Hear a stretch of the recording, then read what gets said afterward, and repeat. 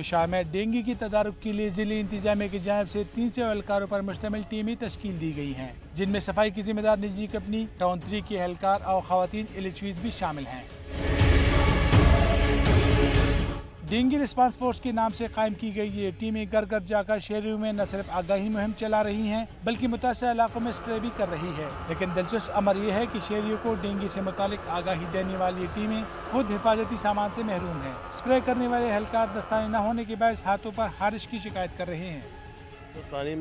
دستانے نہیں تھے ہاتھوں پر شاپر پہنے تھے جس سے کوئی سیفٹی نہیں ہوتی۔ ہاتھوں میں اسپرے کے بعد خارش ہو رہی تھی بعد میں سرسوں کا تیل جسم پر لگایا جس سے کچھ افاقہ ہوا۔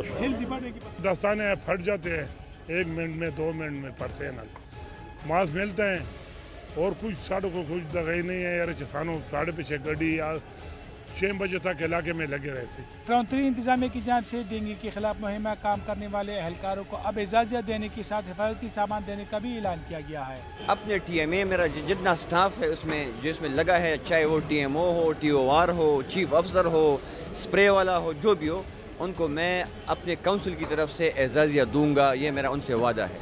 ضلع انتظامیہ کے مطابق رسپانس ٹیمیں متاثرہ علاقوں میں سات ہزار سے زائد گھروں میں اسپرے بھی یقینی بنائیں گی۔ کیمرہ مین حیات کے ساتھ نصرت اللہ دنیا نیوز پشاور